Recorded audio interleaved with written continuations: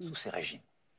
Donc voilà, nous nous tenons aux côtés de celles et ceux qui se battent pour ces valeurs aussi qui nous ont faites et, qui continuent de nous faire.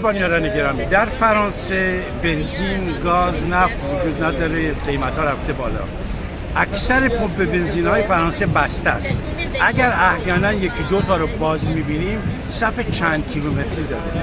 قیمت گاز و برق رفته بالا. مثلا صورت حساب ما اگر بود مایی هزار یورو الان شده مایی پنج هزار یورو. به همین خاطر فرانسه مشکلات وسیعی در رابطه با نفت و گاز و بنزین داره. این بود که سکوت کرده بود مکرون در رابطه با ایران که شاید معامله کاری بتونن بکنن. بدین رو چهارشنبه صبح بیستم مهر یادروز حافظ رند شیراز. من ساعت ده بامداد برای ایشون یه پیامی دادم. گفتم بهش که عزیزم زنان ایران رو دنیا دنیا پشتیبانی کرده. همه اعضاب دنیا پشتیبانی کردن. شما برای این مواردی که حل شدنی است شخصیت فرانسه فرانسه مطرحه. و خودتو زیر علامت سال نبر.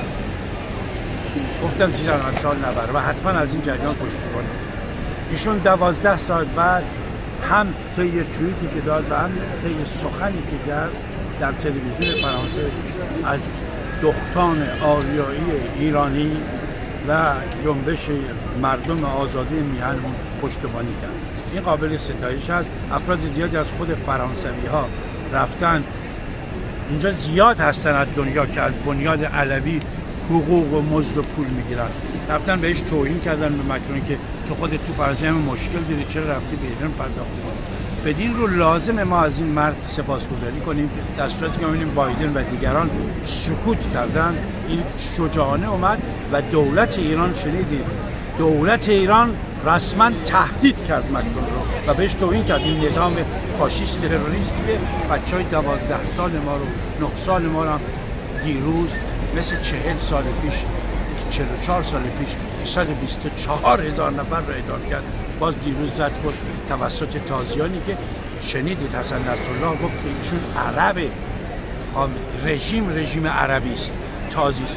ننگ بر کسانی که باز بخوان به نام اسلام حمد و قل الله بخونن برای بچه هاشون که کشته شدن و بگن انا لله به فرهنگ دیرین خودت برگرد از قاتلین سرزمینت پشتیبانی نکن Naturellement, les manifestations se poursuivent en Iran pour la quatrième semaine. Des femmes, des hommes qui se battent pour leur liberté.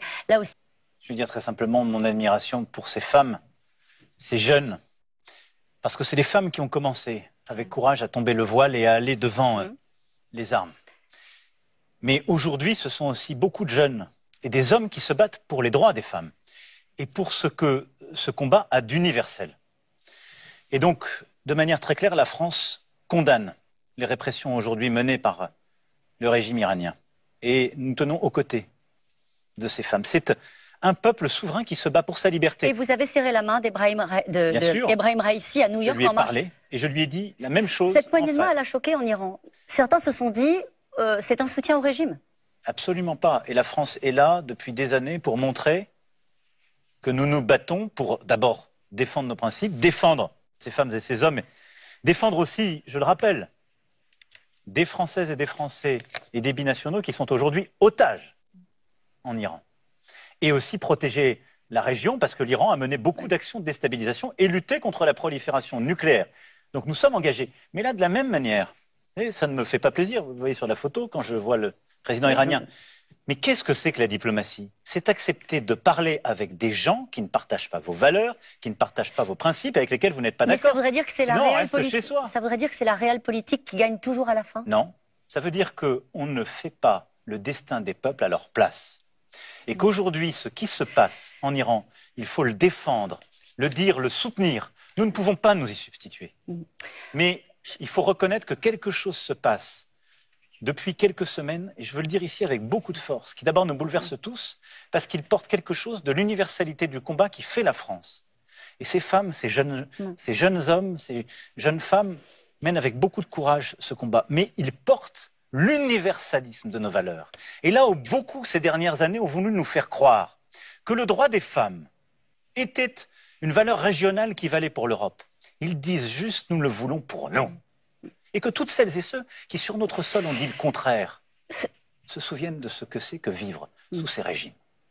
Donc voilà, nous nous tenons aux côtés de celles et ceux qui se battent pour ces valeurs aussi qui nous ont faites et, et qui continuent de nous faire. Monsieur le Président.